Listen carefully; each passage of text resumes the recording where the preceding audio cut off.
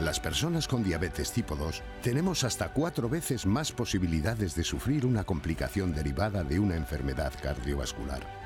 Esto tiene que ver con la arteriosclerosis, la creación de placas en las arterias del corazón provocada por la diabetes. Cuando esta obstrucción es significativa es cuando se produce la angina de pecho o el infarto de miocardio. Por eso es fundamental llevar un control exhausto. De la hipertensión arterial, eh, de la dislipemia, es decir, el colesterol y los triglicéridos altos y otro tipo de factores asociados que habría que considerar según el paciente. Hay que realizar actividad física de forma periódica. Practicar deporte es una de las principales recomendaciones, pero hay que sumar otros hábitos. Realizar una dieta cardiosaludable, controlar la obesidad y el sobrepeso, el abandono del hábito del tabaco y ante cualquier síntoma acudir rápidamente al médico.